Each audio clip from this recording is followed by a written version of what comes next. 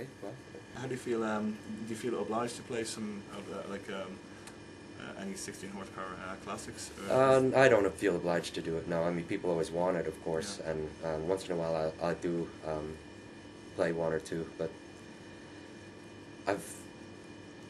It's hard for me to go back and play these older songs a lot of times, just because I I'm not in the same place in my mind Mm.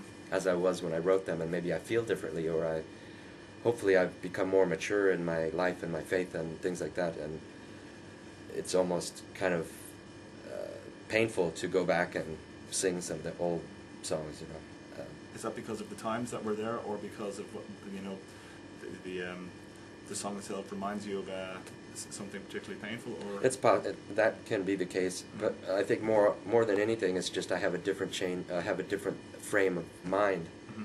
And it's hard for me to go back into that place where I was before and sing something that maybe I'm not so confident anymore of Mhm. singing. Okay, yeah. You know. I noticed a while ago on your on your MySpace page there's a link um, for uh, I think it's Living Ministries. Uh, Yeah, Living God Ministry. yeah. Okay, Living God Ministries. Is that um, is, is that um, That's the church I go to. okay? Right.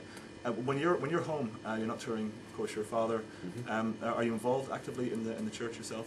Only as as far as I go. Yeah. Okay. Right. Right. I mean, I'm not home on a regular enough basis to really uh, commit to Mhm. certain things about it. I mean, it's not really, you know, we just meet in a in a closet basically. There's only like 40 people, 50 Oh, it's people, quite small.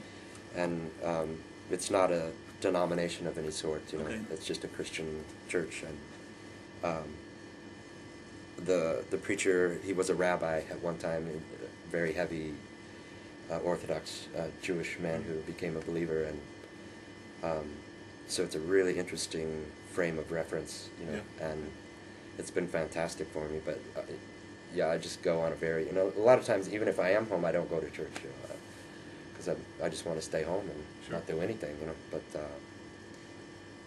that doesn't concern me, you know. I, I I spend a lot of time with people who are believers, so that to me is church, you know. Yeah. And uh, I don't have to go to the building, you know. How does um, how does uh, life, uh, the touring life, you know, with uh, you know, I mean, obviously I wouldn't know myself, but uh, know, we hear about the, the debauchery and you know the, the Mhm. whole rock and roll lifestyle and Mhm. this and that. I mean, is that something that um, is a problem for you? I've had problems with it, sure. Yeah. Yeah. Mhm.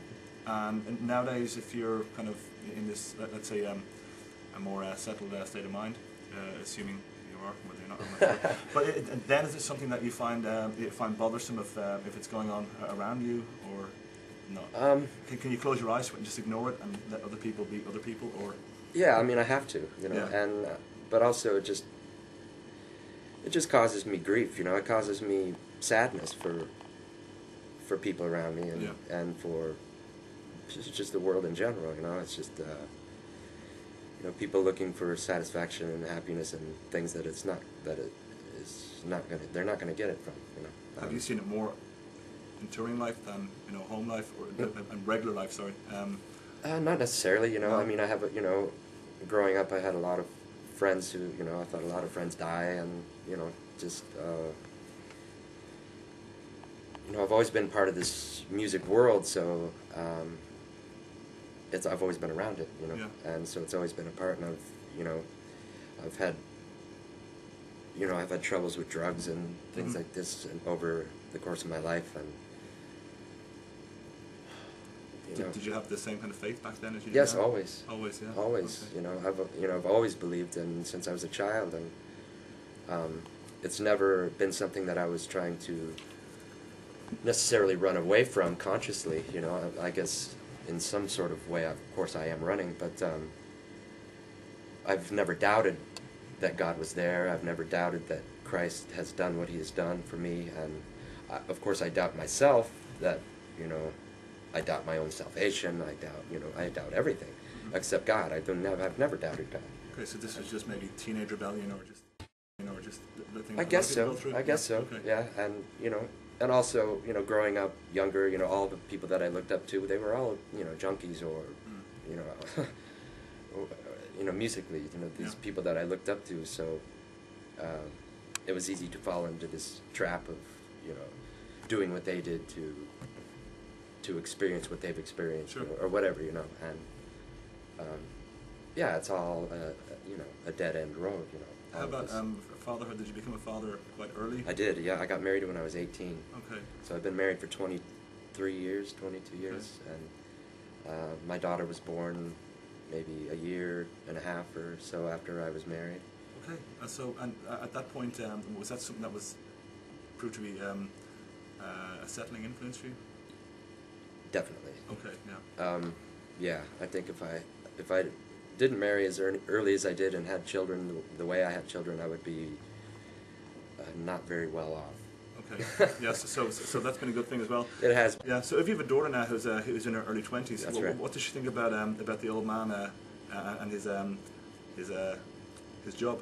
Is Uh, she, well, uh, you know, she she's always been Does it make her the coolest kid in class when she was in school? Uh, it has at, Yeah, at certain yeah. times, and also it, it's made it difficult for her, you know, because a lot of people just immediately think of her as being arrogant because her father is, you know, in a rock band and Yeah, traveling the world or whatever. So, some, uh, it's it's not oh it's not always easy for her, No. and a lot of times she doesn't even tell people, you know, Yeah. who who she is, or Right. especially the older she gets, the more she, the less she connects, you know, makes that connection to try to, to win people over, if you know what I mean. And she just wants to be her own person and do her own thing. But she's, you know, she's great. She comes to my shows and she loves the music. And um, Is she musical herself? Does she play? yeah, I mean, she played on uh, one of the 16 horsepower albums. She played some violin and she sang on one. And uh, right now, she doesn't play any music. She just kind of hangs out with her boyfriend, who's a musician and plays in a band. Okay, yeah. Obviously, uh, you know, it's uh, the father figure. You know, Mm. leading on to if she's with a music, uh, Mhm. musician boyfriend now. Mhm. Um, I was I was curious to ask you. Um, there's again going back to this uh, the, um, the the thing with the metal scene. Um, there's a band from Sweden called Marduk who are a black metal band, Mhm. and I, I read an interview with them where they said they have um, not released it yet, but uh, recorded a Woven Hand cover. Right. what song. Yeah, Deerskin Doll. It is, yeah. Mm. Have you heard it? I haven't. Okay, right. Are you keen to hear it?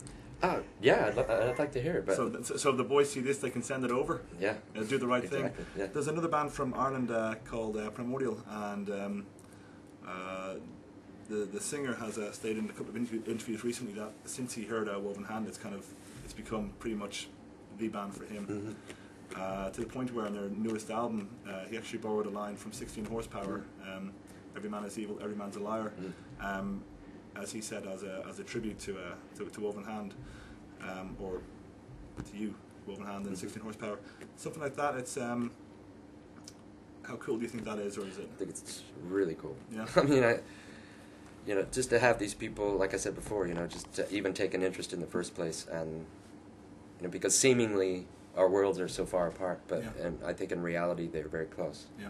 And um, I know the band Primordial. I mean, I've never seen them, but uh, just through the computer, and Yeah. um, I think they're really a good band. Yeah. Okay, Um, I think I'd be very happy to hear that.